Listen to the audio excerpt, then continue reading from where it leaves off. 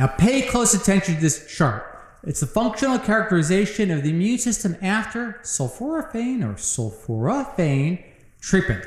Basically, cruciferous vegetables um, found in like broccoli, cabbage, kale, Brussels sprouts. Now, what is amazing about this? You have three groups of dots. You have the control group, the infected group without sulforaphane, and then you have the infected group with sulforaphane.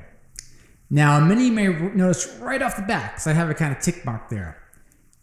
You notice the red dots are basically those animals which are infected with sulforaphane uh, compared to those not affected at all. Isn't that amazing? Now, again, without reading too much into it, but when you look at this and you look and you go, wow, that is just about the same as if they were never infected. Now you get to the incredible, incredible, oh, hang on one second, incredible, interesting benefits of something such as broccoli, a sulforaphane, or sulforaphane from cabbage, kale, or Brussels sprouts. Now, what's incredibly interesting about this is normally, you know, you would think of like your orange juice, your vitamin C, and so forth and so forth. But the amazing aspect of this is its modulation for example, by helping navigate the immune system, as well as helping keep inflation, inflation, inflammation, or that's all of the subject, inf, inf, inflammation or infection uh, regulated or basically mitigated down and on its impact.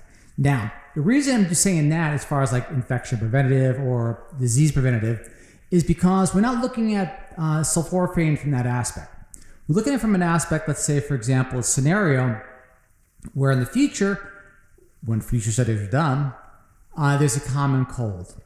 That's something that could potentially reduce the severity and duration of that particular common cold. In this case, the researchers looked at SARS-CoV-2, and it yielded amazing results. More so than anything else, now, as you delve into the full research, uh, the lungs in particular. But we're just going to deal with the general aspects of it.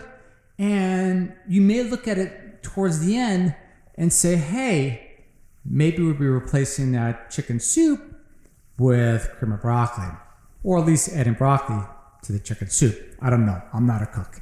But the procedure as follows. Again, amazing, amazing uh, graphic there. Chemical found in leafy greens showing the slow growth of COVID 19 and common cold viruses. A John Hopkins Children's Center led study in mice and lab grown cells found sulforaphane could help prevent and treat illnesses caused by certain coronaviruses, including COVID 19.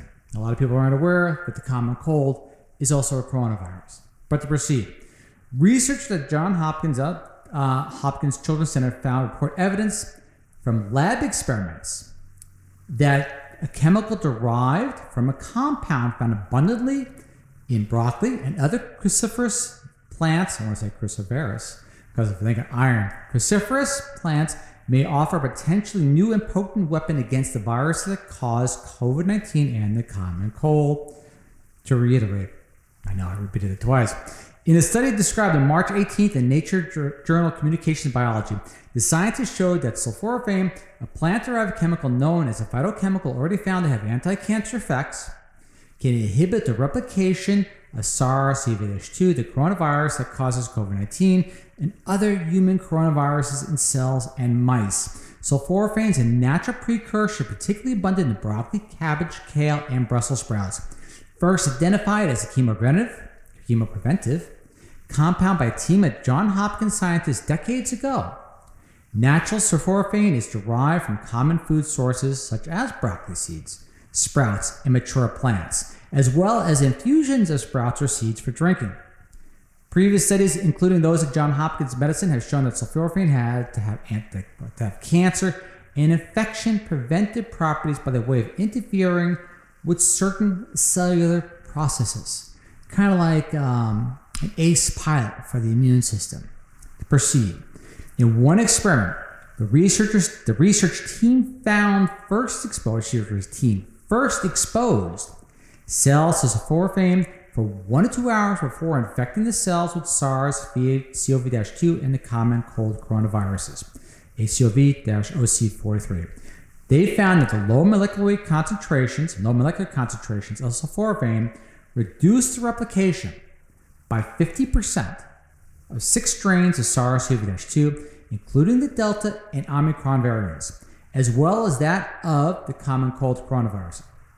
The investigators also observed similar results with cells that had been previously infected with the viruses, in which protective effect of sulforaphane were seen even with an already established virus infection. The takeaway was who said like prior. Imagine a scenario where you're going to work or someone's going to work per se, and they have just a common cold virus. And by infusions, either food or otherwise, of sulforaphane, there's a potential that you could actually reduce not only the severity, but the duration of that particular ailment down, and yet yield you a very positive, beneficial outcome. Post infection, post exposure. That is where they're trying to allude to, but future research needs to be conducted in people in order to basically illuminate uh, that potential outcome. Now we're going to go into the full study. Now, the reason B is because this gives uh, correlation per se, potential correlation of dosaging and so, so, so forth and so forth. Uh, would give you an idea that maybe it doesn't require like massive dosing on a regular basis, especially when it comes to why sulforaphane has benefits even though peak plasma concentrations tend to drop fairly rapidly. It may have kind of like a ripple effect to the immune system, like where you throw a pebble, and then basically these ripples have a beneficial effect on gene expression later on. But to proceed, you'll see what I mean in a second. Our results demonstrate that pharmacologically relevant micromolar concentrations of sulforaphane inhibited viral replication and virus-induced cell death in vitro. Consumption of sulforaphane-rich broccoli sprouts single oral daily dose equivalent to 200 micromoles of sulforaphane results in peak plasma concentrations. And higher steady state levels can be achieved by administering the same dose in two divided doses. That's what's required. By comparison, sulforaphane inhibited in vitro SARS CoV-2 replication in human cells with an IC of 50 and 2.4 of 2.4. It is important to note that the bioavailability of sulforaphane in humans is dependent on many factors, including the amount consumed, dietary form and preparation technique, and the individual's gastrointestinal micro- microflora, meaning some people may respond far better to it than others, and vice versa. Studies using sulforaphane rich broccoli sprouts corresponding to 50 to 400 micromoles of sulforaphane daily have shown that sulf- Sulforaphane is well tolerated without clinically significant adverse effects. Additionally, while sulforaphane is rapidly eliminated from plasma, it is reportedly exerts a sustained effect on gene expression. There is where the takeaway is in reference to the resonating effect. Even though it's rapidly eliminated in plasma, it made its presence known and communicates effectively through possibly gene expression. To proceed, a daily dose of sulforaphane rich broccoli sprouts corresponding to 400 micromoles or 70 milligrams. Remember, that was the, the upper level of tolerability that they did the uh, uh, basically to see if there was any adverse effects. Remember, 50 to 400 micromoles, the test for it. 400 micromoles was the upper level, 70 milligrams of sulforaphane in humans is not equivalent to 30 milligrams a kilogram of sulforaphane used in the current mouse studies, especially if you're looking at differences in microflora. Thus, while our results are promising, additional studies in humans are needed to determine the efficacy of sulforaphane as a therapy for COVID 19 and possibly other coronaviruses such as the common cold. Now, to conclude, in summary, we documented that sulforaphane can inhibit in vitro and in vivo replication of SARS-CoV-2 at pharmacologically and potentially therapeutically achievable concentrations. Further, it can modulate the inflammatory response, thereby decreasing the consequences of infection in mice when administered prior to infection. Given that sulforaphane is orally bioavailable, commercially available, and has limited side effects. Our results suggest it can be a promising approach for the prevention and treatment of COVID 19 as well as other coronavirus or coronavirus infections, i.e., is the common cold. Further studies are needed to address these possibilities, in particular, human trials. Now, think about that. And this is where you have to give a lot of gratitude to the researchers as follows. You're dealing with a substance, sulforaphane, uh, from cruciferous vegetables, which potentially could be common around the world. Rich nations, poor nations, middle income nations, so on and so forth. So, when basically something like this potentially could have, uh, live in the specter of, per se, trying to word, parse my words carefully as not to be censored. Uh, generally, by just increasing consumption of these cruciferous, cruciferous, cruciferous vegetables, broccoli, kale, spinach, Brussels sprouts, so on and so forth, it can create an incredible benefit of basically, how would you describe it?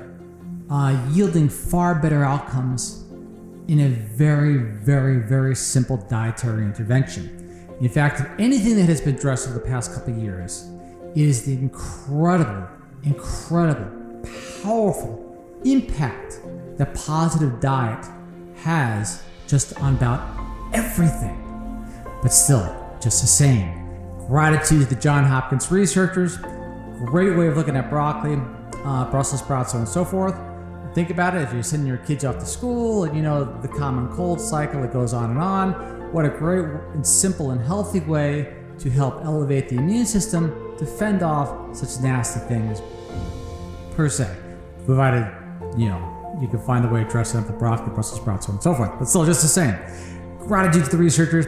And again, forgive the echo, the stage, so on and so forth. Still, I want to make sure we get this information out because some incredible, incredible, incredible great stories, uh, research articles, I should say, not stories, uh, basically that need to be heard. And in a very humble way, we do it on our own, which still I like to allude to with a long goodbye. I am humbled as always that you watch, and hopefully we'll get in a regular routine come upcoming. And just the same, thank you, gratitude, and I'll see y'all next time. Catch you then. Bye.